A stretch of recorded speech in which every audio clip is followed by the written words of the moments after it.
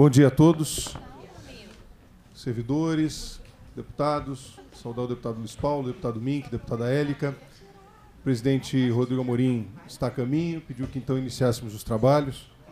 Então, sob a proteção de Deus, damos início então à nossa reunião da Comissão de Constituição e Justiça.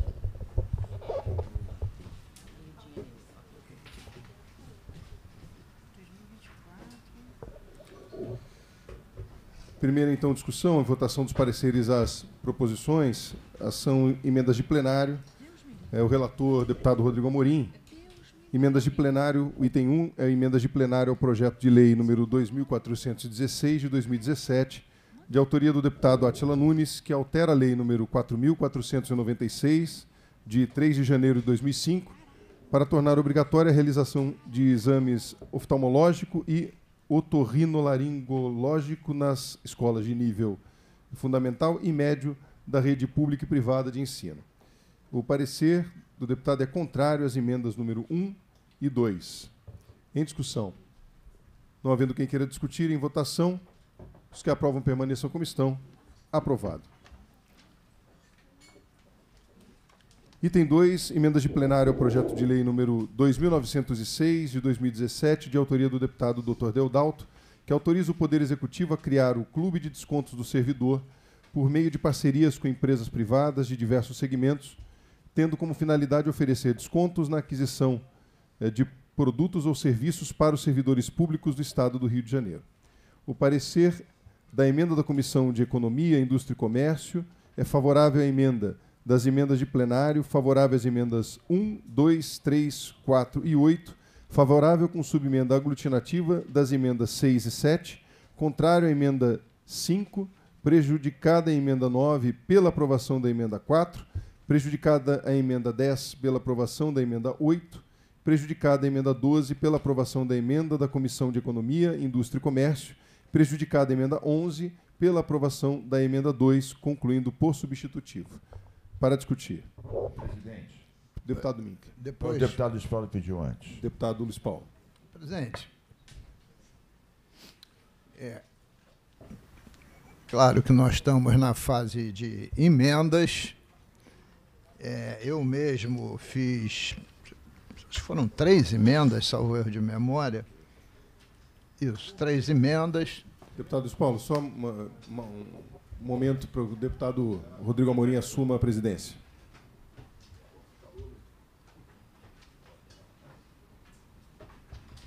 Bom dia. Bom dia, presidente. Bom dia. Desculpa o atraso, estava no Tiradentes, vim andando para cá. Então, retom retomando os trabalhos, devolvendo a palavra ao deputado Luiz Paulo. O senhor estava no Tiradentes lutando para que a gente não pague mais dízimo a Portugal? Quinto. É, a lei, do, lei dos quintos.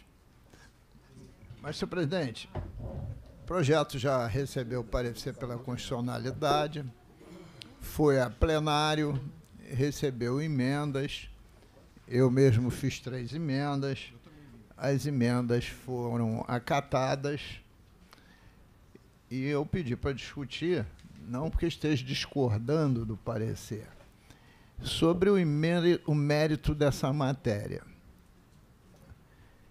O famoso Clube dos Descontos. O governador do estado não pediu autorização ao parlamento fluminense, nem o fez por lei, quando decidiu homologar o Cred Sexta. O Cred Sexta, não sei se o deputado Carlos Mink, mas para mim, toda semana telefona oferecendo dinheiro no consignado. Olha, se telefona para mim, telefona para todos os servidores públicos. E alguma vez, nós, como servidores públicos, fizemos alguma opção pelo Cred Sexta.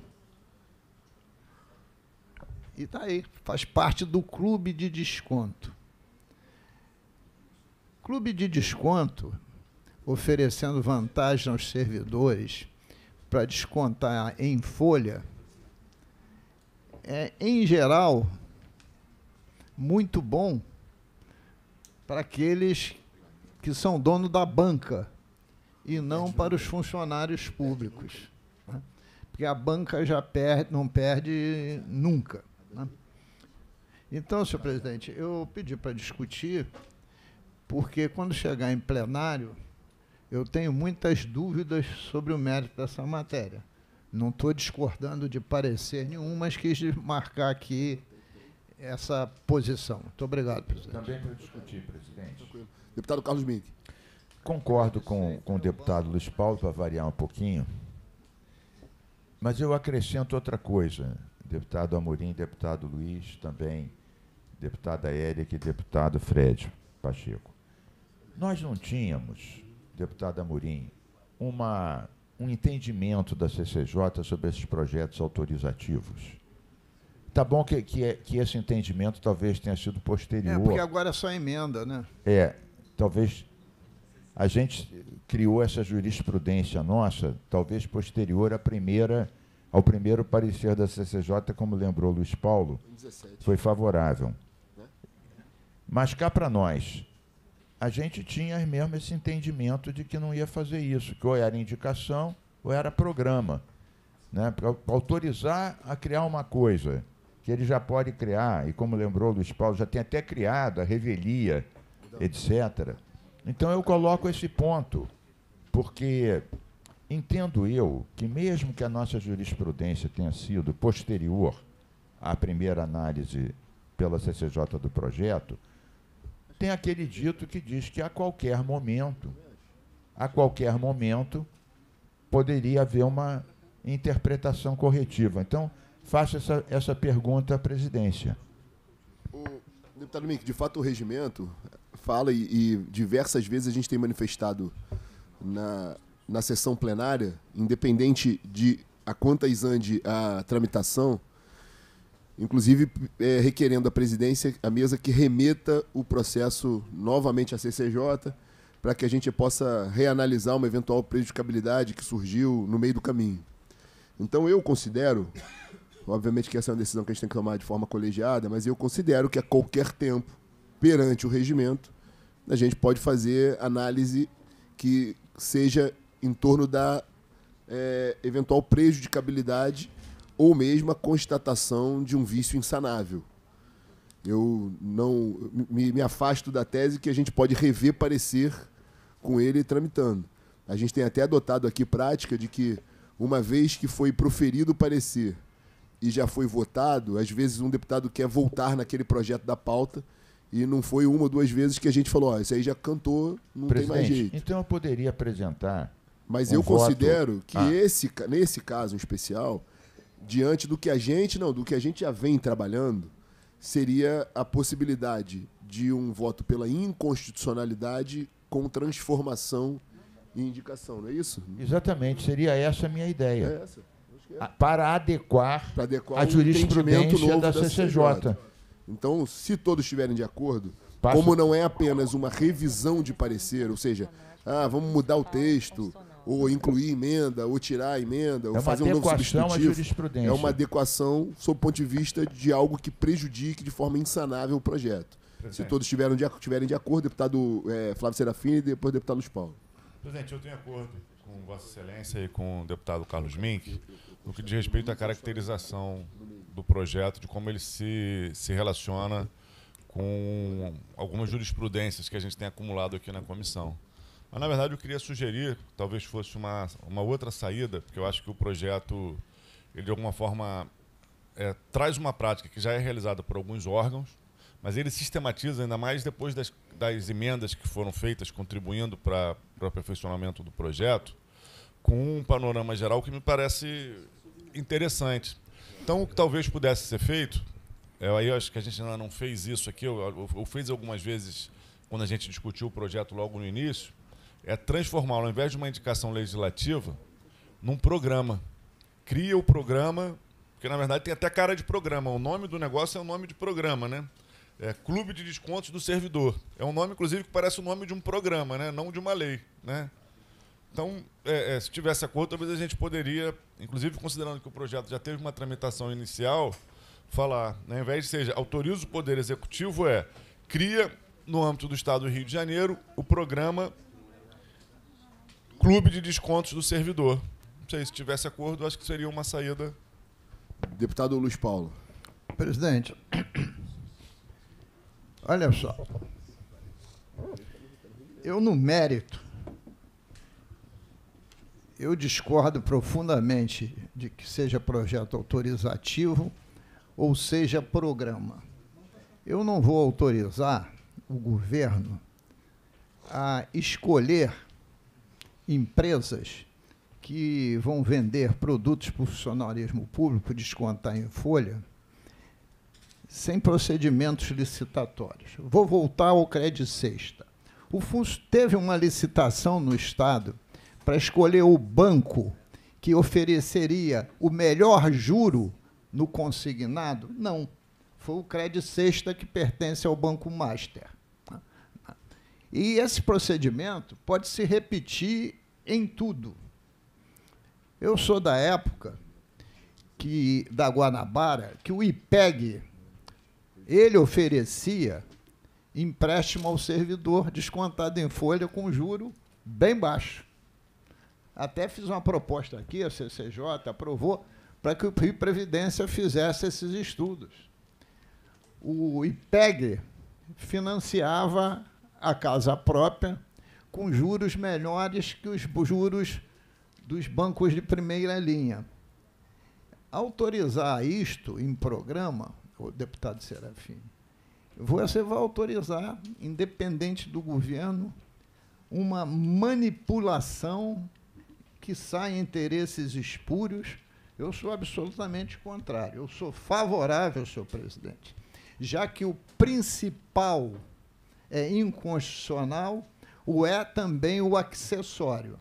Então, se for emendado, se o principal é inconstitucional, né, é também constitucional acessório pela inconstitucionalidade pura. Essa é a minha posição, que é similar do deputado Carlos Mink. Presidente, só uma observação. É que, na verdade, eu até reli aqui o, o substitutivo e eu não entendi que o projeto autorizava desconto em folha. A gente vai aqui nesse bar aqui da, no restaurante aqui da frente, ele nos dá desconto porque somos da Alerj. A gente vai ali no Limão Galego, ele nos dá desconto porque somos da Alerj. O pessoal não sabe, eu demorei dois anos para saber que esse que tem aqui na frente, que é aquilo, aqui na saída da Rua México, tinha desconto. Comi lá dezenas de vezes sem, sem usufruir desse desconto. Perdeu dinheiro. É. Descobri agora, faz pouco mais de um mês. Trata-se de um mão de porco. Mas pelo que eu entendi, pelo que eu entendi, o programa ele é semelhante, ele não fala de desconto em folha. Só se eu posso ter feito uma leitura rápida aqui e ter me equivocado. Mas é que, se claro, se trata de desconto em folha, tem completa razão o deputado Luiz, Luiz Paulo.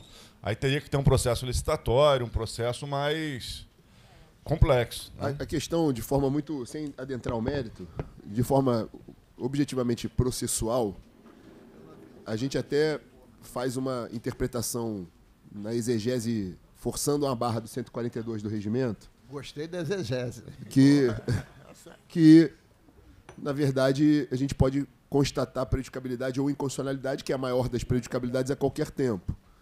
Para fazer reforma do texto, no caso transformação em programa, até é possível, mas desde que a gente consiga encaixar numa das emendas no parecer um substitutivo que permita alterar o artigo, que também é um exercício que dá para fazer. Mas é melhor inconstitucionalidade... Mas aí é decisão de Vossas Excelências. Aí pode ser, Luiz Paulo, ou inconstitucionalidade simples, ou inconstitucionalidade com... Com indicação. Com indica... indicação simples, qualquer um pode fazer. Mas não indicação... Olha só. Simples, não legislativo.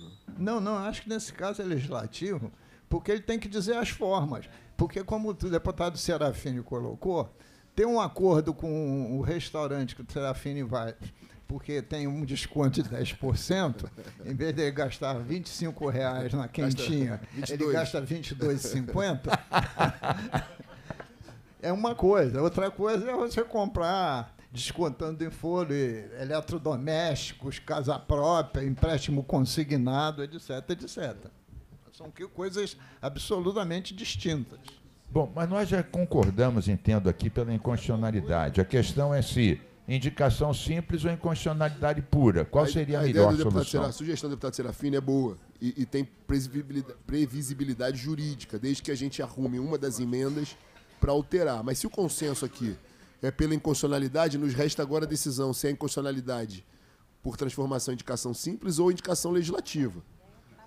Ou inconstitucionalidade pura. Ou pura. Eu acho, ou é pura ou é inconstitucionalidade apelativa. Para obrigar o executivo a mandar para casa. Bem, como é que, como é que vota a deputada Élica? É pela inconstitucionalidade pura ou pela, pela transformação em indicação legislativa? Pela indicação legislativa, presidente. Deputado Mink. Também acompanha, então. Deputado Serafim, pode ser, então? Pela indicação legislativa. Hoje eu tô, tô, com a faca menos afiada do que os nossos decanos aqui. Deputado Fred, quer um desconto ou não? Não. Sempre. Quem, Sai quem, não, quem não? Sai para almoçar com o deputado Serafim hoje. o, o, Fred, o Fred quer desconto no, no, no barbeiro. É. Eu sempre peço desconto no barbeiro. Sempre. Então vamos voltar. Quem é o relator? Sou eu? Então, como eu sou o relator, eu vou fazer a alteração aqui do, do relatório, contestar, é, é, constatada a inconstitucionalidade. O novo parecer é pela transformação em indicação legislativa, pela inconstitucionalidade, com transformação em indicação legislativa. Encerrada a discussão e votação, senhores que aprovam o novo parecer permaneçam como estão. Aprovado. E, e assassinamos a crédito sexta. Para alegria do deputado Luiz Paulo. Item 3 da pauta. Emendas ao plenário ao projeto de lei 3433 de 2020, de autoria do deputado Daniel Librelon, que institui a campanha de conscientização sobre a castração e combate ao câncer em animais no âmbito do Estado do Rio de Janeiro e dá outras providências. O parecer é favorável às emendas 1 e 9, contrário às emendas números 3, 4, 6 e 8, prejudicada a emenda número 7 pela aprovação da emenda número 3 da CCJ, favorável com subemenda aglutinativa às emendas 2 e 5, concluindo por substitutivo. Em discussão. Gente, isso vai dar uma ciumada danada. Deputado Marcelo Queiroz, que já castrou não sei quantos mil animais, vai ficar com ojeriza do deputado Librelon. Não havendo quem queira discutir, encerrada a discussão, em votação, senhores que aprovam permaneçam como estão, aprovado. Item 4 da pauta, emenda ao plenário, de plenário ao projeto de lei 4066 de 21, de autoria do deputado Marcelo Dino, que institui o programa Jovem Doador nas escolas estaduais do Estado do Rio de Janeiro. O parecer é favorável às emendas 1, 2 e 3 da Comissão de Educação, favorável à emenda número 1 do plenário, concluindo por substitutivo. Em discussão. Não havendo quem queira discutir, encerrada a discussão, em votação. Senhores que aprovam, permaneçam como estão. Aprovado. Emendas de plenário ao projeto de lei 417 de 2023, de autoria do deputado Jorge Felipe Neto, que autoriza a colocação de torneiras de água potável em ambientes públicos destinados a animais. Eu vou pedir, vênia aqui ao ao colegiado e vou retirar, como eu sou relator, né? E vou retirar esse de pauta, porque quero é, reanalisar aqui uma das emendas. Se observar, eu fiz oito emendas. Pois é. Porque estava difícil de tomar água nessa bica.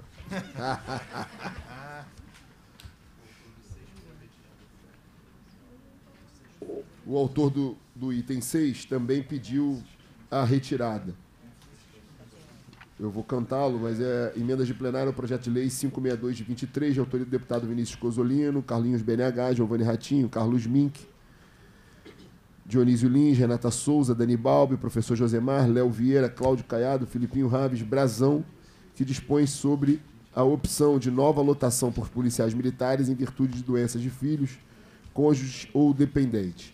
Eu conversei com o deputado Felipe, eh, com o deputado Vinícius Cosolino hoje pela manhã, e ele fez algumas ponderações no seguinte sentido, de que as emendas estavam caminhando para estender o que preconiza esse projeto de lei a todos os servidores. Eu acho que a gente pode aí rejeitar a emenda da Comissão de Segurança Pública e solicitar ao deputado Márcio Alberto que faça um projeto de lei específico é para o servidor civil. É isso. E aí ele, o deputado Cosolino fala que quem legislou aqui sobre o servidor militar, na verdade, é observando as peculiaridades do serviço militar, que é a escala, é, distância de casa, enfim. E aí, uma vez que se abra para todos os servidores, primeiro que torna o projeto mais fácil de ser derrubado, seja por veto ou por uma, um questionamento judicial. E perde o propósito do, do, do intuito principal, do objetivo principal. E são três estatutos distintos, né, Wanda? Pois né, é. senhor presidente? Porque o servidor público, ele tem dois sistemas. O antigo sistema financeiro, concursado antes de 13, e o sistema previdenciário. Né? E tem o específico do militar. Né? São tratamentos absolutamente distintos. Então ele pediu a retirada, eu sou o autor, e aí faço aqui o exercício de refazer o parecer, derrubando a emenda da Constituição de, da, da, da Comissão de Segurança e restituindo o projeto original. A gente podia até fazer agora isso, mas, mas são muitas emendas e é melhor fazer, refazer e trazer o texto ajustado já. Assim teu assessor trabalha um pouquinho, é. anda muito descansado. fazer jus esse salário gordo que o Fernando recebe. Sete. Emendas de plenário ao projeto de lei 1546 de 2023. De autoria do deputado Márcio Gualberto, que altera o anexo da lei 5.645 de 6 de janeiro de 2010, que consolida a legislação relativa às datas comemorativas no Estado do Rio de Janeiro, para incluir no calendário oficial do Estado do Rio de Janeiro o Dia Estadual de Nossa Senhora Aparecida, ser comemorado anualmente no dia 12 de outubro. Para aparecer, deputado Fred Pacheco. Parecer é favorável às emendas número 1 e 2. É, apesar de entender meritório né, a, a inclusão, sou entusiasta de Nossa Senhora, tem que entender que o artigo 3 precisa ser suprimido, justamente porque não é possível, em, num processo que exige só alteração de calendário, incluir questões que envolvem, por exemplo, um programa. Então, é, a supressão então, do artigo 3 e 4 Além do mais, né, deputado? Nossa Senhora Aparecida, nome da minha falecida mãe, ela é padroeira do Brasil, feriado nacional. E, por via de consequência, todos os calendários oficiais do Brasil comemoram com máxima justiça. Né? Então, ainda tem mais esse Sim. pormenor. Bem, não havendo que queira discutir, encerrada a discussão em votação. Senhores que aprovam, permaneçam como estão. Aprovado. Item 8. Emendas de plenário ao projeto de lei 330 de 2023, de autoria dos deputados Carlos Mink, Vinícius Cosolino e Tandy Vieira, que altera a lei 3.944 de 10 de setembro de 2002, que dispõe sobre os direitos fundamentais das pessoas usuárias de serviço de saúde mental e da outras providências, para incluir punições às clínicas, hospitais e comunidades terapêuticas, bem como aos profissionais de saúde e outras pessoas físicas envolvidas nos casos de internações compulsórias e ou involuntárias irregulares e da outras providências. Para aparecer, deputado Luiz Paulo.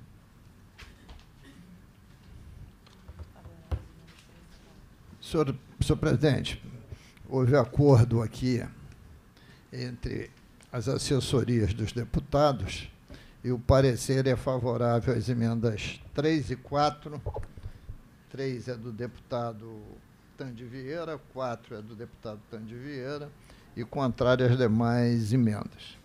Em discussão. Não havendo quem queira discutir, é encerrada a discussão. Em votação. Deputado Fred, quer fazer alguma ponderação antes de votar? É, a minha ponderação, na verdade, era em relação às comunidades terapêuticas, que hoje nós sabemos a importância da comunidade terapêutica em relação ao tratamento, é, o combate à droga, né? e me preocupa um pouco a relação que se faz da comunidade terapêutica com um processo que é, é, é das clínicas que não são ou das clínicas que não atendem como a comunidade faz, porque a comunidade ela tem um trabalho muitos, muitas delas e as sérias fazem um trabalho absolutamente voluntário, né? e uh, trazer a, esta, a este processo um trabalho um, um processo que pode ser punitivo a, um, a uma comunidade que faz um trabalho acessório ao Estado me preocupa bastante. E eu queria até, por isso, entender até a, a posição do deputado Luiz Paulo quando faz a, a, a menção, incluindo, reincluindo na, na, na, emenda a comunidade terapêutica. Posso dar uma explicação rápida? Bom, depois do Luiz Paulo. Olha só, vamos lá. Tua, a tua primeira emenda, ela está retirando porque olha só, o parágrafo primeiro do projeto, bota lá o primeiro parágrafo do projeto. Parágrafo primeiro do artigo 2 A. Primeiro modifica a emenda. Pois é. Porque veja só, essa, o senhor está tirando uhum. do projeto as comunidades terapêuticas. Porque ela não faz internação compulsória. Não. Essa é a questão. O problema é que assim, a punição, olha só a emenda como é que está, olha só. Profissionais quis, outras físicas envolvidas em casos de internações compulsórias e involuntárias Fred, regulares. Eu não tenho absolutamente nada contra as comunidades terapêuticas. Achamos que a intenção é que elas estivessem inclusas. Sim. Por isso que eu falei antes que isso teria sido um encontro das assessorias. Eu não tenho problema nenhum de mudar o parecer desde que haja esse entendimento. Posso, não, posso, é só, é só para esclarecer. Consertar um acordo. A, a, a intenção, só para esclarecer, é assim, eu não, eu não sou contrário a punições, inclusive às comunidades terapêuticas que fazem um trabalho incorreto. Então, isso faz parte da fiscalização do governo, inclusive. O governo precisa, precisa ser um órgão que fiscalize, e a gente não pode deixar que isso aconteça. Aquelas que, são, que fazem um trabalho incorreto. O que me preocupa é porque na emenda é, é, diz aqui que a punição para profissionais de saúde e outras pessoas físicas envolvidas nos casos de internações compulsórias não faz parte da e, e internações involuntárias. Não é, é caráter irregulares. Sim, mas é isso que eu dizendo. irregulares, querido. Presidente, posso, posso rapidamente tentar entrar na discussão. de internação compulsória ah. e ou involuntária irregular. considerada irregular e ou ilegal, ficam estabelecidas as seguintes sanções. Isso. É quando é irregular. Deputado Mink. Só para dizer, deputado presidente, Pacheco, veja. Presidente, me inscreva. Veja. Não se está negando o papel das comunidades terapêuticas. Muito menos se está imputando a ela ou a qualquer outra não comunidade, as clínicas, é, uma punição se tiver tudo certo. O, qual é o objetivo desse projeto? É restringir as internações compulsórias involuntárias. O que acontece? Muitas vezes, eu já vi isso há muito tempo atrás, tem internações que são realmente cabeludas.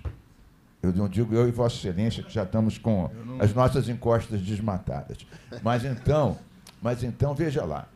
Tem é, é, neto que interna o avô é, para ficar de olho na herança. Tem marido que diz que a mulher que traiu é não sei quantos, é louca e interna não sei quantos. Quantos casos a gente já viu desses? Então, o que a gente está querendo é que essas internações sejam acompanhadas pela família, pela defensoria, etc, etc.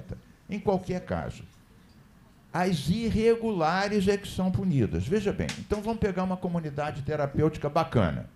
Então, cumpre a lei, tem lá suas normas, etc. Né? A família acompanha, a defensoria acompanha, nenhum problema.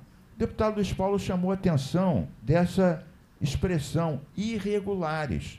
Veja bem, há várias comunidades terapêuticas. A maior parte delas, com certeza, são corretíssimas. Vossa Excelência já admitiu, Sim. como em qualquer lugar do mundo, há as irregulares. Essa história, a punição é para as irregulares, ou seja, aquelas que fazem internação compulsória ou involuntária sem cumprir uma série de exigências que garantem que não seja um absurdo, uma vingança, um machismo, um etarismo, uma coisa qualquer. Se aquelas comunidades que Vossa Excelência conhece, acompanha, sei que acompanha várias, e que essas são corretíssimas, elas não vão ser punidas por isso, porque não fazem internações irregulares. O que a gente está querendo punir são as irregulares. A irregular, você vai, a Vossa Excelência vai dizer, bom, mas as que eu conheço não tem. Bom, se não tem, então não vão ser punidas. Não vão ser punidas. Se fazem tudo certinho, aquela, mas Vossa Excelência já admitiu que tem algumas minoritárias que não cumprem tudo direito. Então, essas serão objeto de uma advertência, de uma multa, etc., para Sim. entrarem. Então, essa é a explicação. Não, tá claro, e eu vou, eu vou acatar a sugestão do deputado Luiz Paulo, principalmente da questão da regularidade. É só para deixar claro que, como não faz parte, parte do caráter da comunidade ser ou é, é, é, colocar como opção a internação compulsória, que isso é uma questão que ainda há dúvidas em relação. A, algumas pessoas ainda têm dúvidas nessa questão. Então, só para deixar claro que isso não é escopo da comunidade terapêutica. Perfeito. Colocar como é, não sendo, não atividade é, de, de, interação compulsória. Mas eu, eu entendo e acato a sugestão do deputado Luiz Paulo e as emendas e, e sigamos. Deputado Flávio Serafim. Presidente, só uma rápida observação. É, concordo com questões levantadas pelos dois deputados. Né? Primeiro, pelo destaque do deputado Carlos Mink, da necessidade da gente ter uma aplicabilidade clara de sanções para quando há as internações involuntárias irregulares. E aí é importante destacar que as internações involuntárias elas são legais e muitas vezes são necessárias. O que não pode ser feito, que muitas vezes se defende, são internações em larga escala, sem individualização do sujeito, sem entender se ele está de fato enfrentando um quadro de crise ou não. É, por exemplo, é muito comum ter propostas dessa natureza quando se trata da população em situação de rua. Sim. Agora, uma pessoa que entra numa crise, né, que está num quadro é, é, de risco para a sua própria vida ou para outros, ela pode passar por uma internação involuntária e, na verdade, né, às vezes é necessário que ela passe. Né? É, esse é o, é o primeiro ponto. Só que muitas vezes se fazem internações e tem crescido, em especial, é, a internação é, de pessoas idosas que não têm quadros psiquiátricos é, e que passam a ser internados em instituições psiquiátricas, porque muitas vezes é uma forma de tentar burlar o plano de saúde, e aí você tem a família em acordo com a clínica, todo mundo fazendo né, é, é, internações irregulares. Isso é muito grave. A gente foi procurado recentemente, inclusive pelo Ministério Público, junto com a Comissão de Defesa do Consumidor, para trabalhar numa proposta é, dessa natureza, um pouco diferente do escopo do deputado Carlos Mink, mas talvez até quando esse projeto tramitando a gente possa usá-lo para ele ser o, o, carro que vai regularizar isso. Só que o deputado Márcio Pacheco, é, Fred Pacheco tem razão quando ele diz, olha, mas as comunidades terapêuticas, elas não podem fazer internação compulsória nem irregulares nem irregulares. Tem razão. Mas muitas vezes fazem, ou algumas vezes fazem. Então acho que nesse sentido que é, nesse, permitir que esteja aqui né, não atrapalha, até porque a gente tem, em alguns casos, uma dificuldade de diferenciar clínicas de comunidades terapêuticas. Né? E aí acaba que algumas instituições ficam nesse limite, então acho que não, não atrapalha nem aquelas que não praticam isso é, e nem aquelas que, na verdade, é, é, e nem legitima as internações irregulares uhum. daquelas que praticam sem poder praticar. Eu acho que é, a redação ajuda, então queria só contribuir com o debate. Não, acomodou. Para mim está tudo bem. Pode seguir. Não havendo quem queira discutir, encerrada a discussão, em votação. Senhores que aprovam permaneçam como estão. Aprovado. Passo ao item 9 da pauta. Emendas de plenário ao projeto de lei 1750-A de 2019, de autoria do deputado Brazão, que autoriza o Poder Executivo a criar o programa Cartão Popular no âmbito do Estado do Rio de Janeiro. O parecer do deputado Vinícius Cosolino é contrário às emendas. Em discussão. Para discutir, presidente. Para discutir, deputada Érica Takimoto. Está desligado aqui? Meu microfone está desligado. Microfone da deputada Érica, por favor. 3, 2, 1, som. 3, 2, 1, som, som, som. Bom, eu, eu aqui, ah, quando a gente. Obrigada. Quando a gente lê a, as emendas, eu entendi que as emendas foram extremamente benéficas ao projeto de lei. E também compreendendo que elas devem ser acatadas porque melhora muito porque é, as emendas aqui feitas pelo é, deputado, pelo, pelo Yuri, elas ampliam os programas sociais. Então, as emendas são favoráveis ao objetivo do projeto. Então, abra aqui um voto divergente. Eu sou favorável às emendas. Voto divergente da deputada Élica Takimoto. Em discussão. Não havendo quem queira discutir, encerrada a discussão. Vamos à votação. Temos sobre a mesa o relatório do parecer do deputado Vinícius Cosolino contrário à emenda e o voto divergente favorável às emendas da deputada Élica. Como vota o deputado Carlos Mink? Presidente, Desculpe aqui, eu estou comendo pão de queijo, fiquei surpreendido aqui. Mas eu, eu queria. Eu ouvi deputada Élica defendendo as emendas. Estou tá, propenso a, a acompanhá-la. A nossa assessoria diz que a, a emenda 1 permitiria o acúmulo de benefícios, não é isso?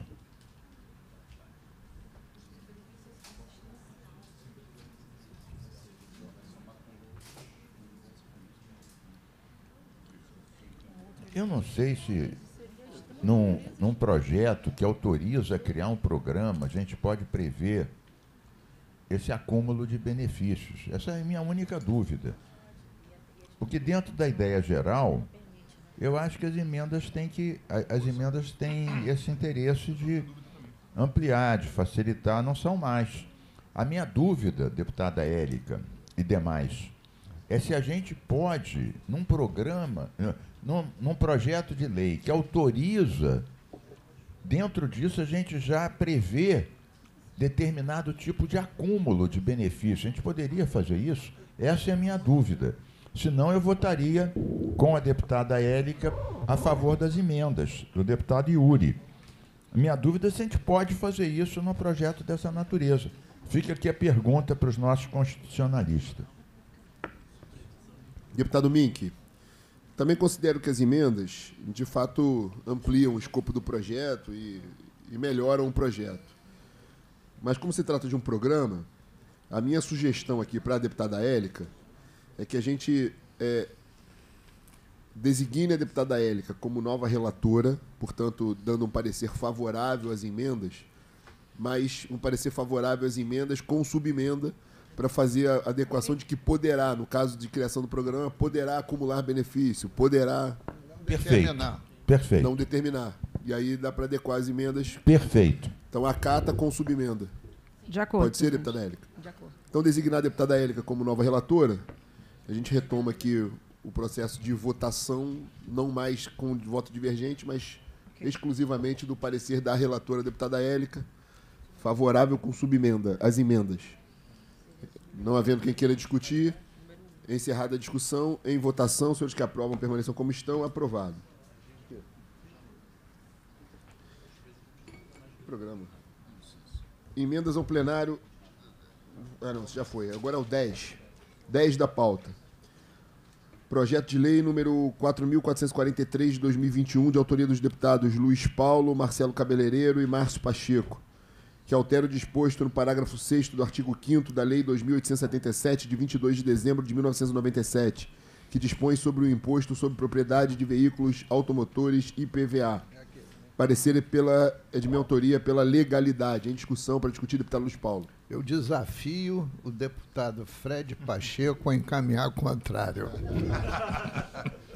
Tenho juízo, ainda mais hoje. Um dia especial para o nosso ex-deputado e hoje vice-presidente do Tribunal de Contas, que hoje vai ter eleição do tribunal. Não vou. Não vai, não, né? Não, não, não, não. não. Deixa ele ficar feliz. Não vou contrariar a lei dele, não. Tá prestes a virar eu presidente. Prestes a virar presidente. O, o presidente, Contas. presidente Amorim, eu vou propor uma subemenda de redação. Ah. Aonde está escrito deputado Márcio Pacheco, escrever deputado Fred, Fred Pacheco. Aí... Porque aí a gente dá uma. Dá uma moral ao deputado Fred. Sem problema nenhum. Ele não, não, não pode. É. Não, 21. Não pode. 21 ele não pode, senão ele dava com autoria. Pô. É. Não pode. Não havendo quem queira discutir, encerrada a discussão em votação, senhores que aprovam permaneçam como estão. Aprovado, parabenizando o deputado Luiz Paulo pela iniciativa. Projeto de lei item 11 da pauta, 3651 de 24, de autoria dos deputados Carlos Mink, Fred Pacheco que cria o Programa Estadual Delegacia Acessível no Estado do Rio de Janeiro para a implementação da acessibilidade das pessoas com deficiência, PCDs, em todas as delegacias de polícia, bem como para o treinamento dos policiais civis, para o atendimento especial voltado aos PCDs nos termos da Lei Federal número 10.098 de 2000 e a Lei Federal número 13.146 de 2015 e da outras providências. O parecer é pela constitucionalidade em discussão para discutir Para discutir, deputado Carlos Mink. Não, só para lembrar Também. que esse projeto surgiu aqui na CCJ. Verdade. A gente estava discutindo as delegacias especiais DECRAD, etc. Aí se discutiu a questão da mobilidade, aí surgiu a ideia dessa história da acessibilidade ser para todas as delegacias. É. E nós trabalhamos em conjunto, primeiro a minha equipe, depois a equipe do deputado Fred, e eu fico contente dessa parceria nossa aqui. Parabéns. Surgida aqui na CCJ e agora sacramentada para todo sempre nessa futura Amém. lei. Amém. Também, também, é, presidente, também agradeço muito a esse esse trabalho que fazemos aqui na CCJ. Talvez eu já disse isso outras vezes. Talvez seja uma das coisas que eu mais gosto de fazer. É, e de fato daqui temos é, efetivo resultado para melhoria e projetos de alta qualidade, discussões memoráveis e ter nesse processo, né? E muitas vezes temos é, isso é bonito demais. Eu, eu, falo isso com toda tranquilidade, deputado Mink, porque é, em muitos momentos temos posições an divergentes, antagônicas em alguns temas, mas é muito bonito quando a gente converge naquilo que é o mais importante, que é cuidar das pessoas, né?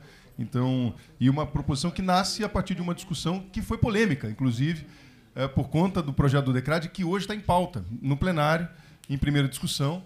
É, é, porque a, a, ideia da questão do DECRAD era suprir uma necessidade que nós temos, sobretudo com as pessoas é, com deficiência que sofrem as discriminações do dia a dia não é? e as intolerâncias. E por buscar um remédio para essa intolerância, nós criamos fizemos a alteração do projeto do DECRAD, estamos propondo a casa também, e inclusive será votado hoje. E aí nasce um, um outro passo, ainda que considero ser é, mais completo ainda. Porque eu falei sobre isso, me lembro do dia na CCJ, que para mim a acessibilidade tem que ser em todas as delegacias, não somente uma.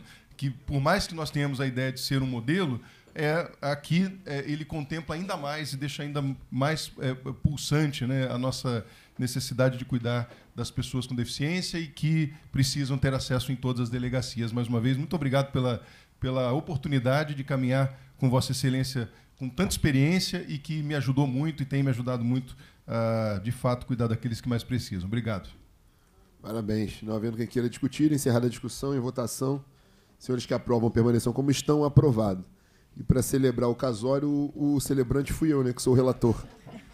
Do meu, como Depois, diria, meu né? eco amigo espiritual, deputado Carlos Mink.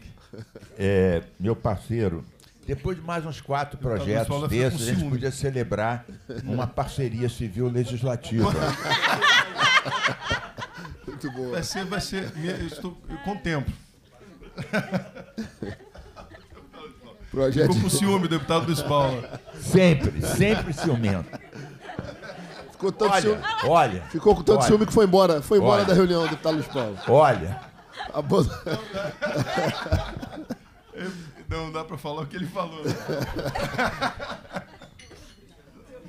Olha a comissão da discriminação, hein? Fazer uma denúncia para a comissão do preconceito. Item 12 da pauta. Tem razão, tem razão. Projeto de Lei 3753 de 24, de autoria da deputada Carla Machado, que declara patrimônio cultural e imaterial do Estado do Rio de Janeiro a festa do Divino Espírito Santo no município de São João da Barra. Relator o deputado Fred Pacheco. Parecer é pela constitucionalidade. Em discussão. Presidente. Para discutir, deputado Luiz Paulo. Uma das festas populares mais tradicionais na nossa cultura é a festa do Divino. Eu me lembro ainda, menino, que lá no meu bairro de, do Engenho de Dentro, na Chave de Ouro, a gente ia às igrejas para exatamente celebrar as festas do Divino. Então, ao longo dos anos, esse tipo de festa religiosa e cultural foi se apagando nas nossas memórias. Eu estou assim chamando a atenção, porque foi algo que a gente não vê mais nos tempos atuais.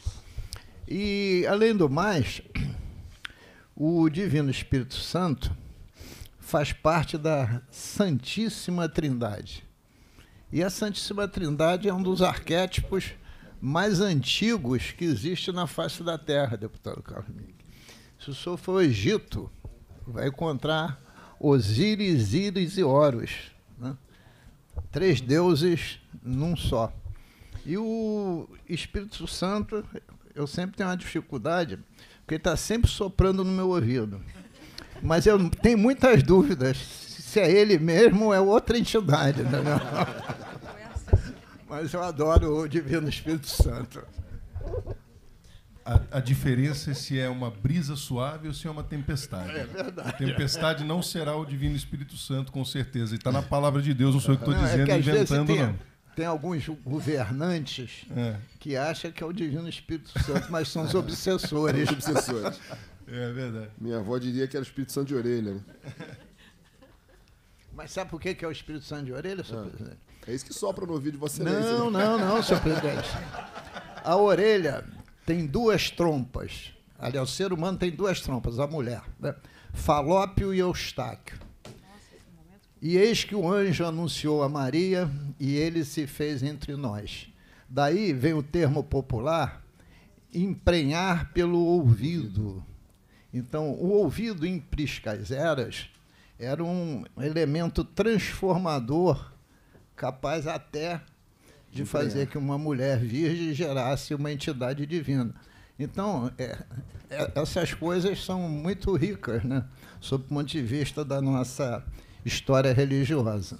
Pô, Eu estou impressionado aqui com essa cultura do Thales Paulo.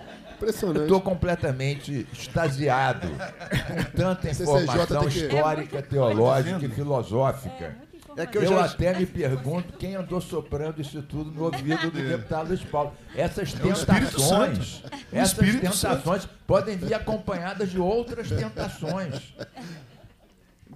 Deputado, em Priscas Eras, eu escrevi um artigo exatamente abordando essa questão da concepção de Maria, que eu acho, do ponto de vista da religiosidade, sim, sim. extremamente enigmática, mas que eu acho possível porque nós perdemos esse, talvez esse conhecimento ao longo do tempo. O, trans, o poder transformador do verbo. Né? Por isso que está lá em João. Em princípio era o verbo e o verbo era Deus. Pô, sensacional, hein? A CCJ tem que aprovar a moção de aplauso do deputado Luiz Paulo. Não, inclusive, eu, eu, tenho uma outra moção para o deputado Fred Pacheco, porque ele também, com toda a sua cultura teológica, espiritual, etc., que também traga para nós, exemplo do deputado Luiz Paulo, histórias maravilhosas como essa que nos remetem à, à filosofia, à criação, à religiosidade e à nossa cultura histórica, que tem que ser sempre realimentada contra o negacionismo. Isso é pura cultura histórica. E, e as explanações do deputado Luiz Paulo são absolutamente tempestivas, né? Porque dias após o 12 de outubro. Eu estou extasiado. E no dia seguinte do dia do mestre. Parabéns, deputado Paulo. 13 da pauta. Projeto de lei 3973 de 24, de autoria do deputado Elton Cristo, que altera a lei 5.645 de 6 de janeiro de 2010, instituindo o dia do pregador e da pregadora, para aparecer deputado Fred Pacheco. Aparecer pela legalidade. Em discussão. Para discutir, presidente. Para discutir, deputada Élica. Presidente, eu, eu quando, quando li aqui né, instituído, instituído o dia do pregador e da pregadora, eu acho que ficaria melhor, né, é, é necessário né, o, a palavra evangelho, que para ficar dia estadual do pregador e da pregadora, no caso da, do, do evangelho. Que... Mudar a emenda. Está no artigo, é, no artigo primeiro. Você quer colocar, ajustar sugerindo. Não, é que ela está sugerindo. Então, aí a minha sugestão emenda. de voto seria é, constitucionalidade com emenda. A emenda. Para emendar o artigo 2. Uma vez que não consta a palavra evangelho. Que é um pregador de pregão. É, né? é, aí, aí é com então. emendas. Porque aí muda a emenda e o artigo 2 também. É. Acatando a sugestão. Boa. Vamos.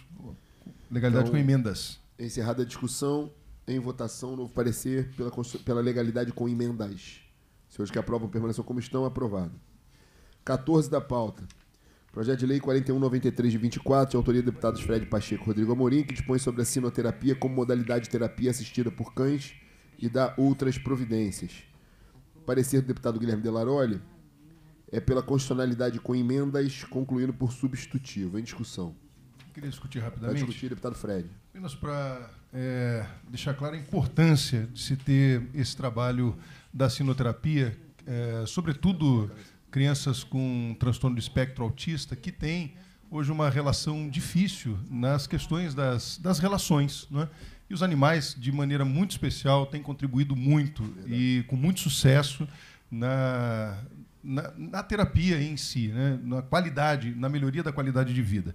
E o projeto, inclusive acatando as emendas do deputado Guilherme Delaroli, que fez as emendas, ele ajuda e especifica ainda mais o cuidado para esse tipo de tratamento é, com os cães que sejam cada vez mais é, preparados né, para ajudar e treinados para ajudar, de fato, a esse processo. Portanto, já agradecendo e colocando aqui em, em votação né, para que, de fato, consigamos seguir em frente. Presidente. Deputado. Rapidamente, só, é, elogiando o projeto, dar um rapidíssimo testemunho aqui. No tempo que eu, que, eu, que eu fui ministro, eu tive uma época lá em Manaus e vi um experimento, é, mas com botos, com botos, botos cor-de-rosa do, do, do, Rio Negro. Com o, o boto, vocês sabem que tem aquele calombo aqui que emite. É como se fosse um radar. Inclusive, ele não enxerga bem, é que nem um morcego. Ele tem ondas que vão e voltam e ele se organiza.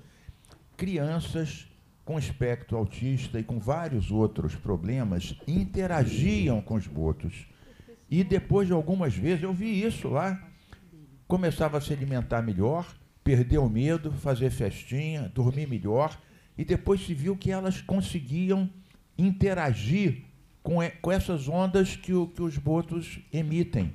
E, e, inacreditável a evolução delas. Quer dizer, então outros animais têm também a. Como é que se chama? Com os cavalos? Ecoterapia. Ecoterapia. Exatamente. E com cães também. Então, isso que sirva de exemplo, deputado Fred e deputado Rodrigo, que é coautor do projeto, né? muitas pessoas que praticam a crueldade, praticam abandono, além de tudo, além de, de perversas, são umas ignorantes, não sabem o potencial.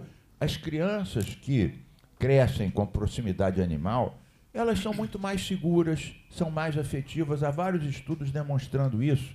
Então, esse projeto não só é, é meritório, como é um alerta para todos aqueles que praticam crueldade e abandono, não vendo a potencialidade que é, essa convivência tem.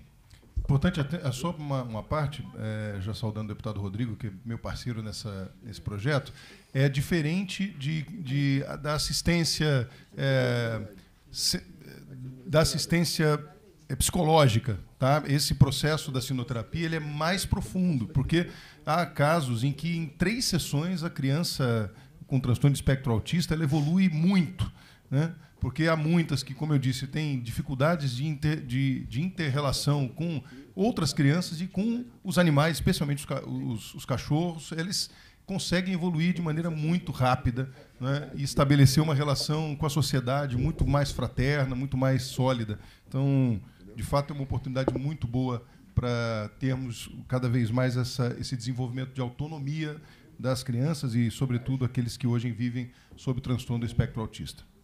Presidente. Deputada Érica. É, no que pese né, a, a minha total é acordo e importância sobre o projeto de lei aqui, eu queria chamar a atenção da Lei Estadual número 9328 de 2021, que dispõe sobre a permissão para a visitação de animais domésticos de, de estimação na rede pública estadual de saúde no estado do Rio de Janeiro e da outras providências, de autoria do deputado Milton Rangel. E também tem um projeto de lei 5719 de 2022, é, da deputada Alana Passos, que possuía uma emenda muito semelhante com a da proposta em tela, que dispõe sobre a prática de sinoterapia, modalidade de terapia assistida por cães no âmbito do Estado do Rio de Janeiro. E esse projeto de lei da deputada Alana recebeu um parecer pela prejudicabilidade pela lei acima citada né, nessa comissão em 21 de junho de 2023, pelo relator Filipinho Raves. E aí tem como parágrafo único, né, é, para os efeitos dessa lei, considera-se animal doméstico de estimação todos os tipos de animais, que possa entrar em contato com os humanos sem proporcionar-lhes perigo, além daqueles utilizados na terapia assistida de animais, como cães, gatos, pássaros, coelhos, chinchilos, tartarugas, hamsters e outras espécies, mediante prévia autorização do médico do paciente, segundo o quadro clínico do mesmo. Então, eu queria chamar a atenção para isso. Deputado Fred. Acho que duas questões que eu acho que é importante a gente levantar. Primeiro, o, deputado, a, o projeto de lei da deputada Lana está arquivado. Né? E, e, e, a questão é que a gente entende que, de fato, esse projeto ele é mais específico justamente por, por tratar a questão da sinoterapia para o tratamento e há questões que complementam o projeto, justamente o artigo o artigo 6 por exemplo, que fala sobre o tratamento adequado, os, é, o, é, os exames periódicos, enfim, e identificação de sinais de maus tratos, são questões que deixam o projeto, de fato, mais especificado em relação à lei permite uma parte, que foi, que foi me solicitada. me parece que a lei do deputado Milton, Milton. Rangel é exclusivamente permitindo a, a, a visitação, visitação, exatamente. o acesso, Permite o ingresso. ingresso mas não fala do programa, não cria fala. critérios, não fala de nem, nem usa o termo sinoterapia. Verdade. Portanto, é. talvez o que há alguma, alguma. Acho que foi incorreto até a prejudicabilidade eu, do projeto da Lana. Né? O conflito original, com, a, com, o projeto original do deputado Alana, até vá, muito embora esse nosso projeto seja mais abrangente, mas ele tem similaridade. No entanto, está arquivado. Agora, em relação ao, ao deputado Milton Rangel, que é lei já, não é projeto, eu discordo que ele trata só de acesso e não necessariamente faz qualquer menção a eu concordo sinoterapia. Eu concordo, é diferente. E, e, salvo engano, acho que o intuito meritório do deputado Milton Rangel naquele momento são os cães de, de companhia. De companhia. Exatamente. É isso que eu ia me é isso que eu acho que eu falei no começo, é que tem diferença o cão de companhia para o tratamento em si. É tudo a questão do ingresso. Você é. vem, diz que não será permitido em tais setores hospitalares, é tudo do cão poder acompanhar não é uma terapia. Não, ele não... podia acompanhar. Eu acho que são projetos não. diferentes. É, o Portanto, eu acho precisava ter sido, quer dizer, exatamente, não, não deveria. Mas esse já foi. já foi. Nesse caso, eu acho que apesar do que levanta a deputada Eli, que ela fez bem em levantar o caso, sim, sim. até para constatar que alguma coisa foi errada no projeto da Lana. Mas nesse caso, comparando o vosso com a lei, eu, eu entendo que ele deva prosperar, Perfeito. porque Exato, um é visitação e o outro é terapia. Perfeito. Então são temas diferentes. Perfeito. Presidente. Deputado Luiz Paulo. Salvo erro de memória, eu fui relator do projeto de lei do deputado Milton. É, e, evidentemente, tem todas, todos vocês têm razão, se trata de liberar as visitações dos cães né, nos processos de ajuda a todos aqueles que estão internados pelos mais diversos tipos de doença. É, a anexação do projeto da Lana, no meu entendimento, a prejudicatividade do deputado Alana é, no meu entendimento, a CCJ errou. A CCJ errou. E nós erramos. Né? Razão pela qual ela também, se foi prejudicabilidade, não está mais tramitando, ficou prejudicado. Então só tem a lei do Milton. E a lei do Milton não contradiz a proposta da, da 4183, que é dos senhores Exatamente. Fred Pacheco e Rodrigo Murim.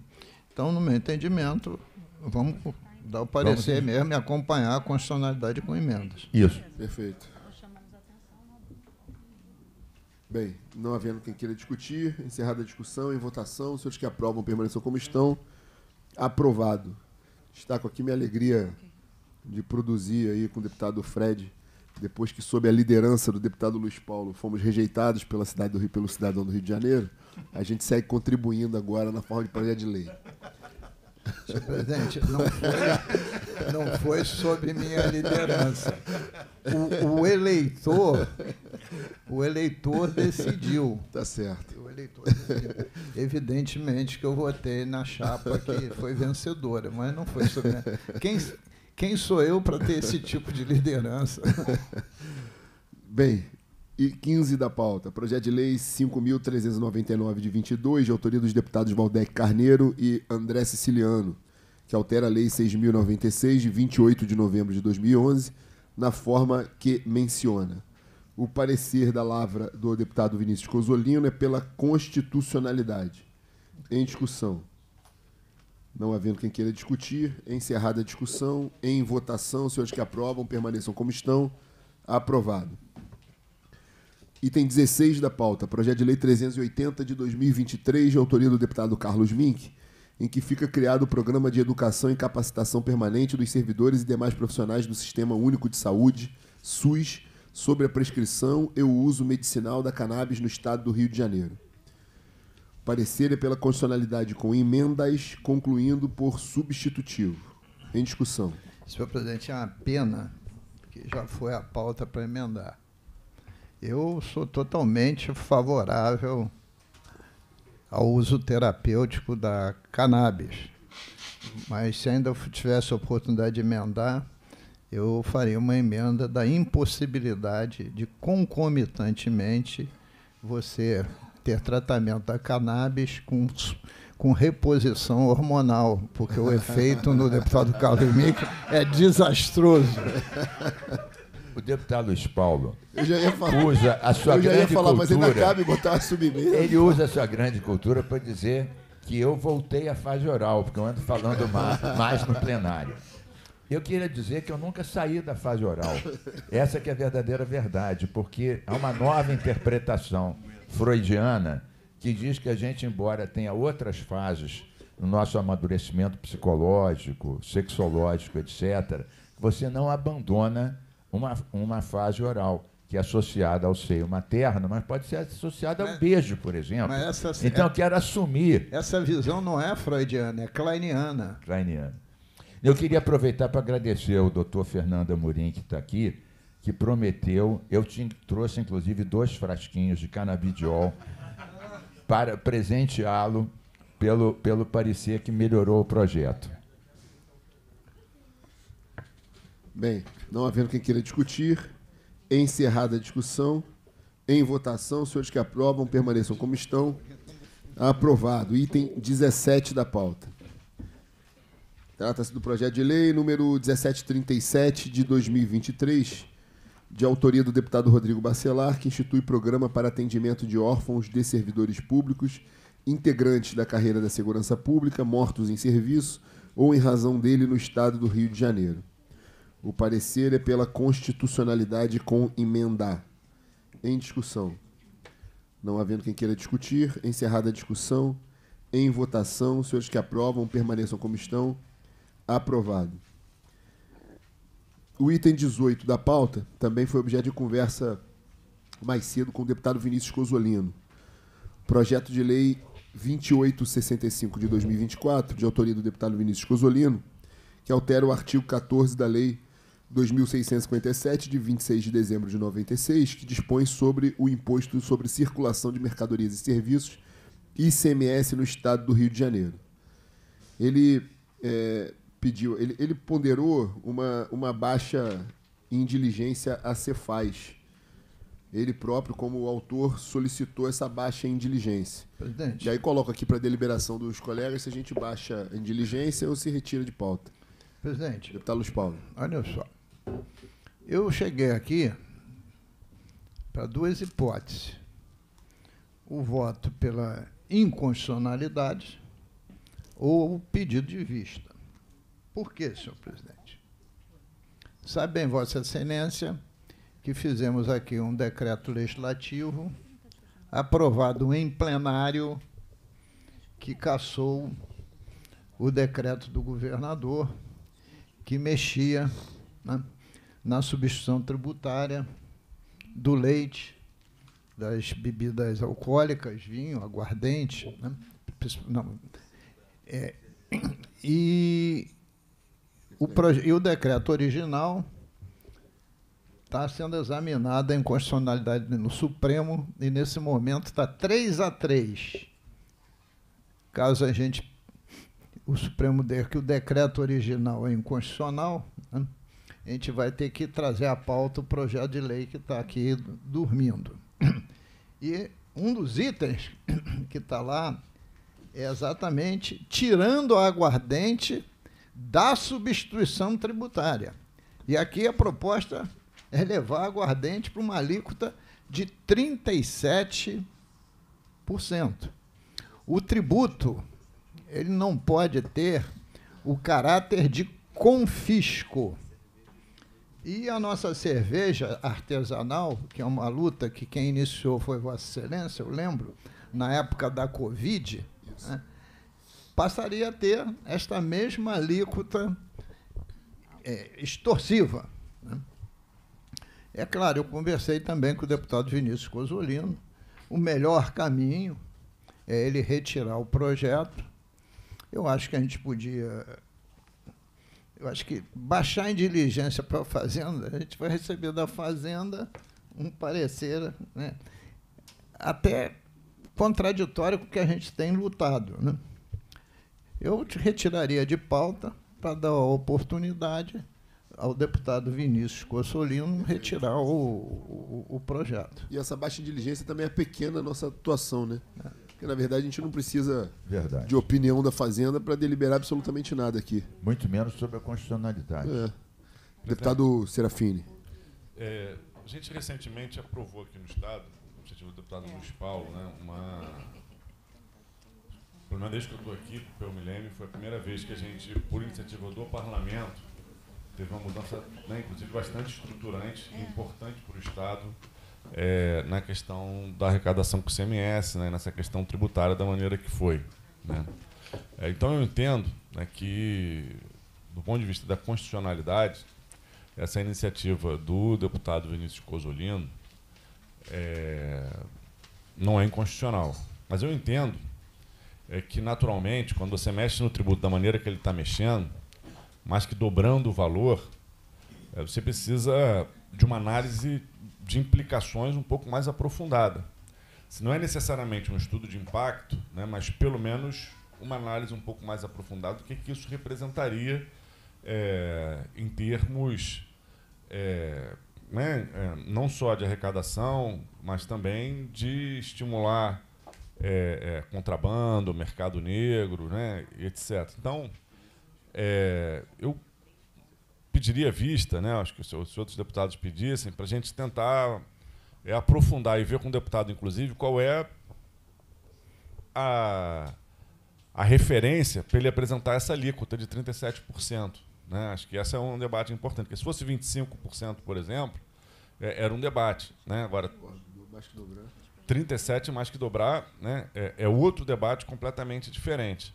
E aí abre espaço para questões como essa que o deputado Luiz Paulo levantou, né, de, que se torna né, um, uma taxação tão grande que né, é, poderia se configurar como uma forma de confisco, etc. Então, né, eu pediria vista do, do projeto para conversar com o deputado autor da matéria, para a gente ver se é possível né, alguma adequação ou um aprofundamento de por que, que ele chegou nesse tipo de proposta. Presidente. Deputado Luiz Paulo. Seguinte. O que eu propus na legislatura passada foi aumentar a alíquota basal de 18% para 20%, que trouxe uma melhoria de arrecadação de 3,1 bilhões de reais coisa que o Poder Executivo gostaria muito de ter feito e não o fez por causa do desgaste político.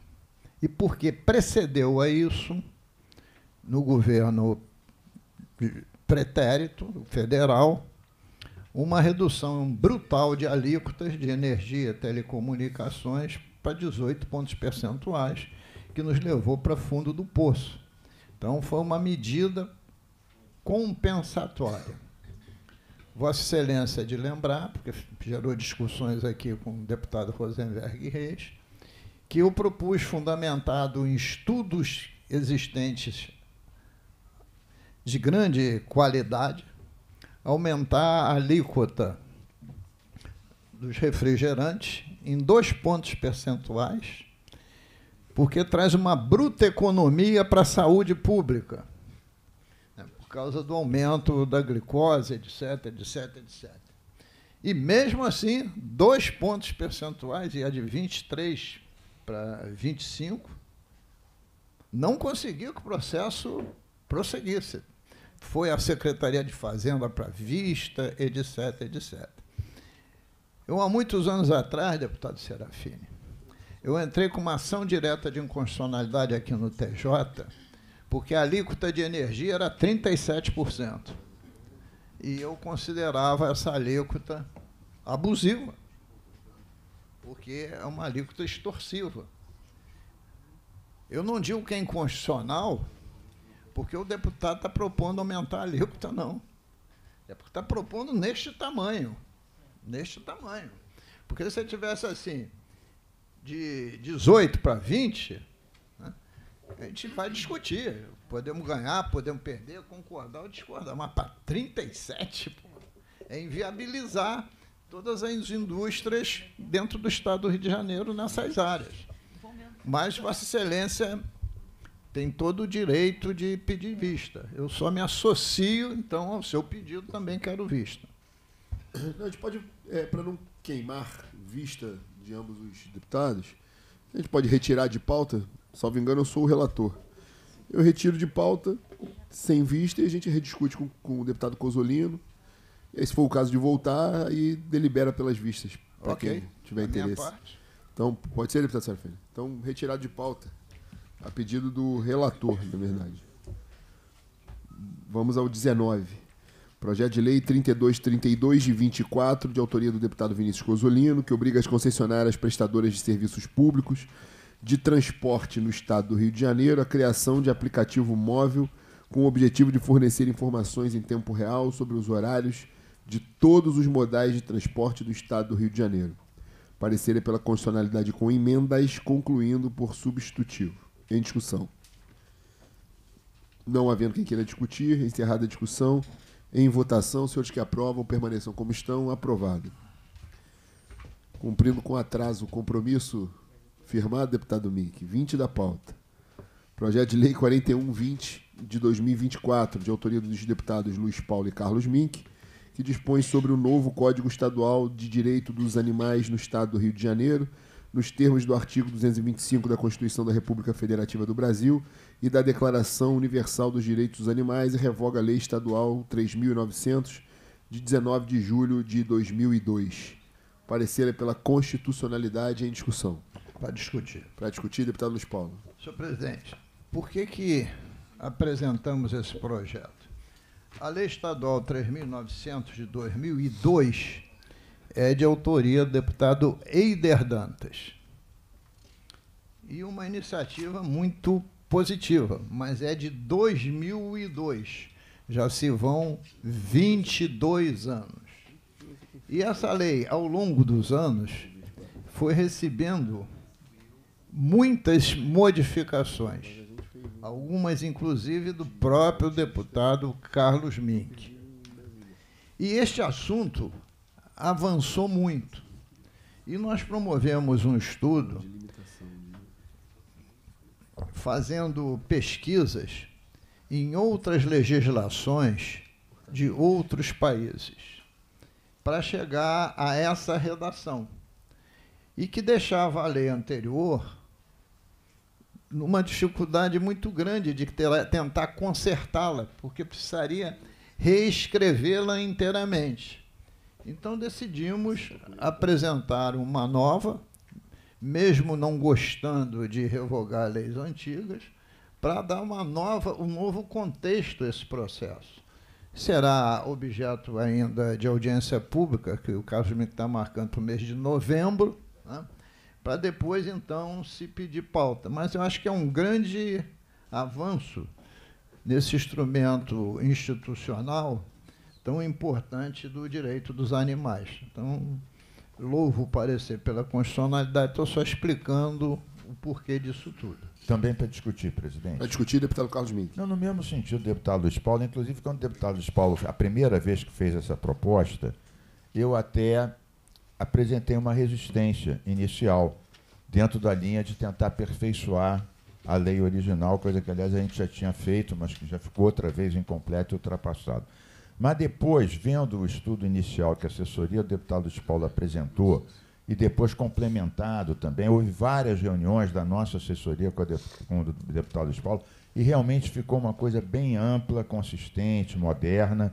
E aproveito para dizer, em relação à, à ciumeira, à vida do deputado Luiz Paulo em relação ao meu projeto com o deputado Fred, que, com base nesse projeto e outros, gente, eu também vou propor uma união civil é, parlamentar para o deputado Luiz bígamo, Paulo. Bígamo. E, exatamente. Aí, dessa maneira, seria uma coisa poliafetiva.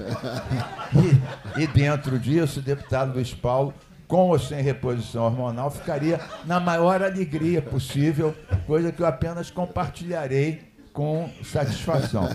Mas está muito bom. Brincadeira à parte, o projeto está bacana e já está marcada a audiência pública. Muito Deputado Amorim, prefiro me calar. Quem cala... Consente, né? Bem, não havendo quem queira discutir, encerrada a discussão, em votação, os senhores que aprovam permaneçam como estão. Aprovado. Parabenizar ambos os autores aí pelo empenho. 21 da pauta, projeto de lei 3693 de 24, de autoria do deputado Rodrigo Amorim, que dispõe sobre a proibição de cancelamento unilateral de planos de saúde, de, de assistência à saúde das pessoas idosas, pessoas portadoras, hein? portadoras de deficiência, PCD, pessoas ostomizadas, pessoas com câncer, pessoas com doenças raras, no estado do Rio de Janeiro. Parecer do deputado Fred Pacheco, mas eu queria fazer uma sugestão, se Vossa Excelência acatar, passar a relatoria para a deputada Élica, que também faz a pauta e esteve conosco na CPI, para que Vossa Excelência se torne autor, não coautor, mas se torne autor, e aí a gente produzir mais uma lei juntos, e aí abrilhantar com a deputada Élica sendo a relatora, porque fica uma produção da CPI que foi interrompida, e aí contempla a deputada Élica, a relatora da lei, Vossa Excelência comigo os autores. Na linha poliafetiva. É,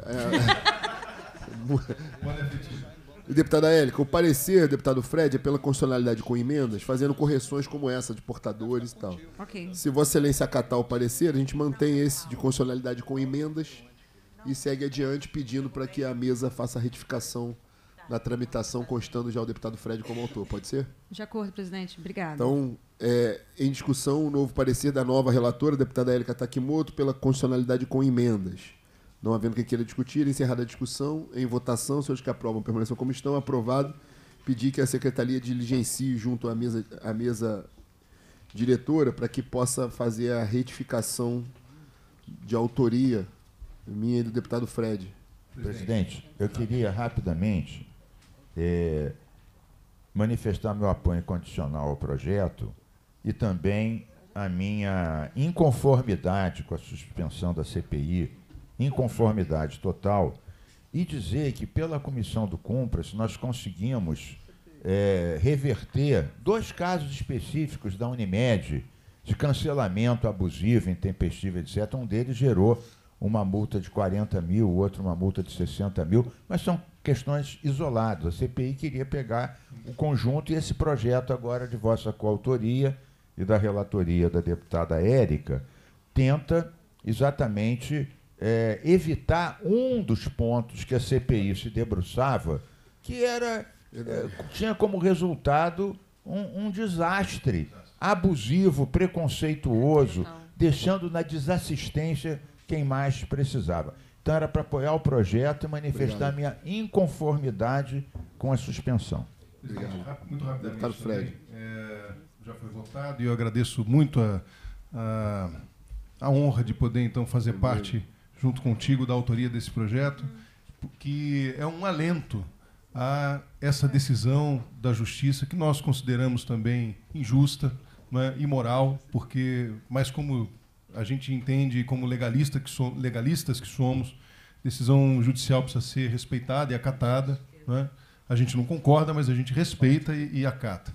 Mas continuamos na luta. E um dos casos, uma das situações que nós lutávamos é exatamente essa, que é o cancelamento unilateral é, das pessoas que estão passando pela situação, é, pessoas com deficiência e com doenças é, raras, enfim, e que tem os seus planos cancelados unilateralmente sem nenhum e com aviso prévio de 30 dias. Quer dizer, isso, isso é inaceitável. São contratos de adesão, contratos é, que nós também consideramos imorais, leoninos, que não deveriam nem ter é, a chance de serem aprovados em nenhuma instância.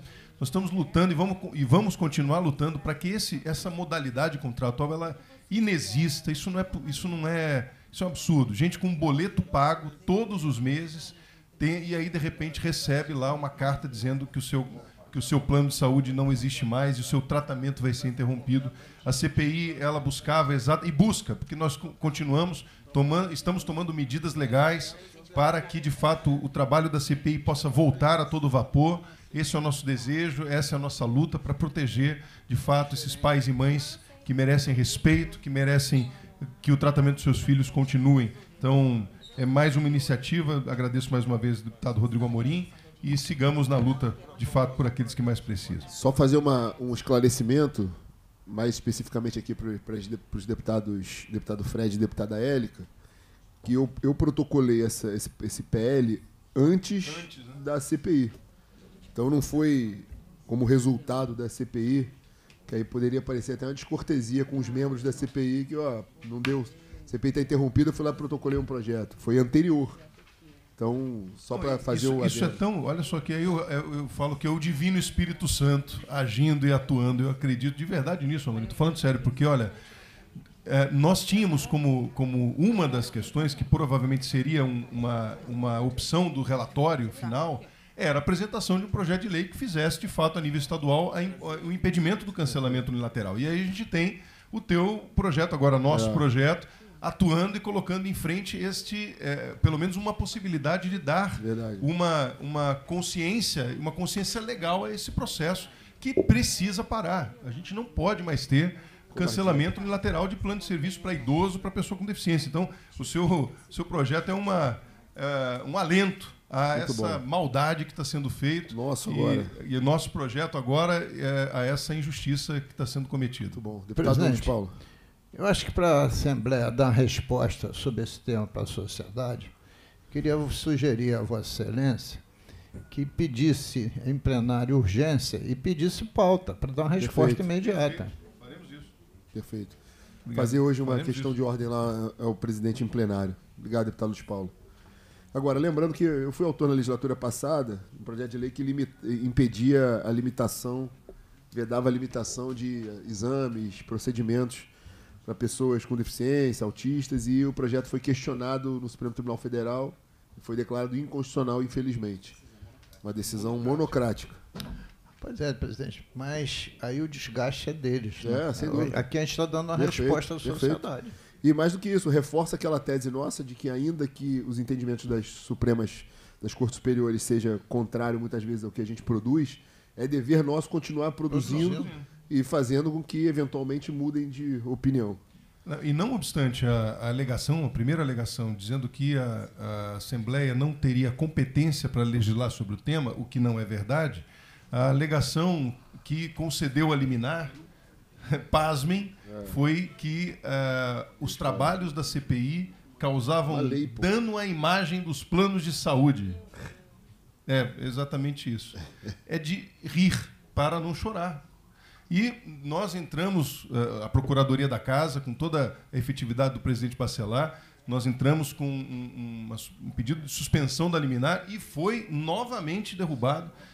A desembargadora manteve a liminar com a mesma alegação, dizendo que o trabalho da CPI era muito contundente e que então colocava. É, causaria danos irreparáveis à imagem dos planos de saúde. Sem mais. A gente consegue entender a força dessa turma, né? Bem, 22, 22 da pauta, projeto de lei 3.824, de autoria do deputado Renan Jordi, que altera o anexo da lei 5.645, de 6 de janeiro de 2010, para incluir no calendário oficial das datas comemorativas do Estado do Rio de Janeiro a Semana com Deus. Parecer do deputado Fred Pacheco. Parecer pela legalidade com emendas. Em discussão. Qual foi a emenda, hein? Duas supressivas. Ah, Suprime tá. o artigo 3 e o 4. Pensei que isso ia fazer modificativo, em vez de semana, dia. Todos os anos da vida. No meu coração já é assim. Deputado Renan, depois de aprovar todos os bares e cervejas, resolveu tirar uma Tá tentando semana se com Deus. santificar. Resolveu se purificar Primeiro peca, dezembro, é. depois se santifica. É isso. Ó, vendo quem queira discutir, encerrada a discussão em votação, senhores que aprovam permaneçam como estão, aprovado. Como todos nós. 23 da pauta. Projeto de relatoria do deputado Luiz Paulo. É o projeto de lei 3294 de 24, de autoria da deputada Élica Takimoto, que declara a Escola Politécnica da UFRJ patrimônio histórico, cultural e científico de natureza imaterial do Estado do Rio de Janeiro. Para aparecer, deputado Luiz Paulo. É, nós tiramos a juridicidade, evidentemente, suprimimos o artigo 2 que estava impondo firmar convênios, etc, etc, até porque o governo querendo firmar convênio, ele firma à vontade, não precisa especificar. Mas o projeto, evidentemente, que é ju- jurídico. Em discussão. Não havendo quem queira discutir, encerrada a discussão, em votação. Senhores que aprovam, permaneçam como estão. Aprovado. 24 da pauta. Projeto de lei 3655 de 24, de autoria da deputada Erika Takimoto, que declara o bloco carnavalesco. Eu só fiquei aqui com uma dúvida. Posso tirar com a deputada Élica Takimoto? Deputada Élica, quando eu era muito jovem e fiz engenharia, a Universidade do Brasil, a escola de engenharia era do da Universidade do Brasil, porque essa aqui era a capital. E era, a escola de engenharia era a escola politécnica. A senhora está se referindo a essa escola politécnica? É, a escola fundada de 150 anos. Eu acho que a, a gente está falando da mesma escola. É a Poli do FRJ, isso aí. É, Escola Politécnica de Engenharia, porque, porque era da Universidade do Brasil, né? Sim. Da UMB. Agora Eu só fiquei na dúvida por causa disso. Porque a nossa matriz originária era francesa, Politécnica de Polytechnique. Depois da Segunda Guerra, o americano entrou na linha das especialidades, aí perdeu o caráter politécnico. Né, doutora em física? Bem, Mas, na verdade, a gente já está votando o seguinte. sim, sim, estava anunciando o 24. Esse já foi votado, volto a anunciar o 24 da pauta. Projeto de lei 3655 de 24, de autoria da deputada Elika Takimoto, que declara o bloco carnavalesco Sociedade Carnavalesca Embaixadores da Folia, da Folia, Patrimônio Cultural de Natureza e Material do Estado do Rio de Janeiro. Mesma Parecer, coisa. deputado Luiz Paulo. constitucionalidade com emenda, suprimindo os dois artigos que impõem eh, obrigações. Eu acho que tem que ajustar a emenda. Não sei se foi um erro só de. Mas me parece que é um erro de emenda, da folia da folia. Da folia da folia. Então com emendas. É, já está com emendas. É só botar mais É, uma. é, é o conserto ali do, da, Tá certo. Deputado, é pela juridicidade, né? O senhor falou com- é que Vossa Excelência falou constitucionalidade. é, Juridicidade com emendas. é, olha só, o melhor parecer mesmo é juridicidade. Estou trocando, até porque o outro dei pela juridicidade. É que a gente ainda tem um ranço É. aqui da discussão com, discussão. com o presidente da casa, André Siciliano, que ficava indignado quando a gente votava pela juridicidade, que dizia que não existia, tinha que ser constitucionalidade. Então a gente ainda tem esse vício de formação. Presidente, Deputado- só justificar que são 13 Serafim. horas, eu tenho uma outra reunião, vou ter que me retirar. Tá. Está parcialmente autorizado. É, já são uma hora. Vai comer com desconto, né? Pelo menos. Hoje eu trouxe. Eu também, eu também. Se for no Não, restaurante, tá é- longe ainda. já disse que a gente vai pedir desconto também, por favor. É, vamos então só até o 27, que é do deputado Delaroli, e depois a gente encerra.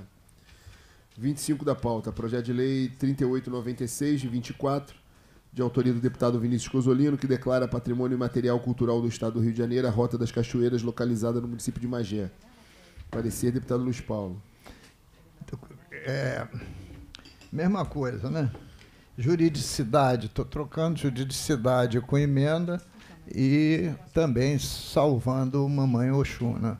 Que é a Rota das Cachoeiras. Vai ver que o nosso Vinícius Cosolino é filho de Oxum e não sabe. Bem, Vou mandar Não, jogar é- búzio para ele. não havendo quem queira discutir, encerrada a discussão. Em votação, os senhores que aprovam permaneçam como estão. Aprovado. 26 da pauta, projeto de lei 3979 de 24, de autoria do deputado Renan Jordi, que altera o anexo da Lei 5.645, de 6 de janeiro de 2010, incluindo no calendário oficial do Estado do Rio de Janeiro o Dia Estadual do Profissional de Limpeza Urbana. Senhor presidente. Deputado Luiz Paulo. Eu dei pela prejudicabilidade, porque já existe o Dia do Gari. Eu acho que Gari, eu já até falei isso aqui na sessão passada. Gari e profissional da limpeza urbana é a mesma coisa. Exato. Porque Gari era o nome do cidadão. Não, o nome do cidadão era não sei o que, Gari, que começou com esse processo de limpeza urbana. Perfeito. Em discussão, não havendo quem queira discutir, encerrada a discussão, em votação, os senhores que aprovam permaneçam como estão, aprovado. Bem, ainda está distante dos blocos, mas acho que a gente pode votar os blocos, ir direto aos blocos, vota os blocos e depois na, na próxima a gente retoma de onde mas, parou Mas agora só tem mais quatro, vários são, são simples. Vamos votar rapidinho, um minuto aqui, olha, tem não, mas, seu, tem meu. Não, mas, é, deputado não. Mink, os blocos iniciam no 37. Sim, mas eu estava dizendo só esse, do 27 ao 30. Então, eu qual... também ia pedir para ver se Vossa Excelência podia colocar o 33 só. Então vamos lá, qual, qual que Vossa Excelência quer antecipar, deputado Mink?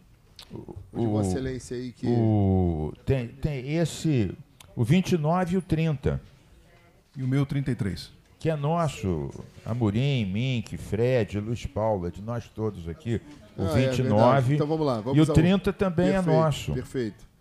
Então vamos ao. Vamos, 29 e 30. Vamos ao 29. Anuncio 29 da pauta, projeto de lei 3183 de 24, de autoria dos deputados Rodrigo Amorim, Carlos Mink, Fred Pacheco e Luiz Paulo, que declara como patrimônio histórico, cultural e material do Estado do Rio de Janeiro o São Cristóvão de Futebol e Regatas. O parecer, deputado Guilherme Delarolha, pela constitucionalidade com emenda. Em discussão, não havendo quem queira discutir, encerrada a discussão, em votação, os senhores que aprovam permaneçam como estão, aprovado. 30 da pauta. Meu filho foi goleiro. Do São Cristóvão. Do juvenil do São Cristóvão. Beleza.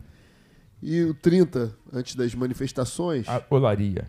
É o 3184 de 24, de autoria dos deputados Rodrigo Amorim, Carlos Mink, Fred Pacheco e Luiz Paulo, que declara como patrimônio Olaria. histórico, cultural e material do Estado do Rio de Janeiro o Olaria Atlético Clube. O parecer é pela constitucionalidade tá. com emenda em discussão, não havendo quem queira discutir em votação, senhores que aprovam, permaneçam como estão, aprovado. Para declarações aí, Glória deputado Luiz Paulo. Bariri. Deputado Fred. Não, eu gostaria só de pedir o 33 para votar. Então, agradecer aí essa poligamia que deu poligamia. certo em homenagem a dois patrimônios de fato do Rio de Janeiro, o São Cristóvão e o Olaria. Agradecer. Agora a antecipação 33. Deferida do 33. Anuncia o projeto de lei 2985 de 24, de autoria do deputado Fred Pacheco, que altera a lei 5645 de 2010 e institui no calendário oficial de eventos do Estado do Rio de Janeiro o Festival de Talentos para pessoas com transtorno do espectro autista TEA. Parecer é de quem? Deputada Élica. Parecer da deputada Élica. Juridicidade com emendas. Em discussão. Só para agradecer. Não havendo quem queira discutir, encerrada a discussão em votação. Senhores que aprovam permaneçam como estão. Aprovado para a declaração de voto, deputado Fred. Apenas para agradecer o empenho também e as colaborações da deputada Élica Takimoto, e porque é mais uma maneira também de colocar a pauta, todas as questões que envolvem uh, o protagonismo das pessoas que também vivem sob o transtorno do espectro autista. Perfeito. presidente. Deputado Luiz Paulo. Eu queria dar uma sugestão, deputado Fred. Olha só. Festival de Talentos para pessoas com transtorno de espectro autista. Eu, eu, eu, acho que devia ser Festival de Talento das pessoas, porque ela, o talento ela já possui. Eles precisam ser revelados, porque senão fica parecendo. Sabe, eu não, não acho que o para Acato a sugestão. Tá. E acho e a deputada pode incluir na alterando a emenda. Pode alterar. Pode alterar. Perfeito, deputado. Muito obrigado. Vamos observado. Pedir, submeter ao plenário a votação em blocos. Senhores que aprovam a votação em blocos, permaneçam como estão, aprovado. Vamos ao bloco de ilegalidade. Na verdade, é um projeto só, é o 38. Em discussão. Não havendo quem queira discutir, encerrada a discussão, em votação, senhores que aprovam permaneçam como estão, aprovado. Bloco da inconstitucionalidade. São os projetos 39, na verdade, 39 e 40 estavam nesse bloco também. É. Na verdade, ah, a gente só tá, tirou o 38. É, ah, já vi, já vi. Que é um foi vi. pela ilegalidade. Já então, vi, os demais, que vai do 39, 39, 40, 43, 44, 45, 46 e 47. Em discussão. Não havendo quem queira discutir, encerrada a discussão, em votação, os senhores que aprovam permaneçam como estão, aprovado. Bloco de anexações. É o projeto 42, que teve uma mudança de parecer, e o 48 ao 57. Em discussão. Não havendo quem queira discutir, encerrada a discussão, em votação, senhores que aprovam permaneçam como estão, aprovado. E, por fim, o bloco de prejudicabilidade. É o projeto 41, com mudança de parecer, e do 58 ao 61. Em discussão. Não havendo quem queira discutir, encerrada a discussão, em votação, senhores que aprovam permaneçam como estão, aprovado. Os demais a gente retorna na próxima semana. Agradeço a presença de todos. Não havendo quem queira fazer uso da palavra, declaro encerrada a sessão.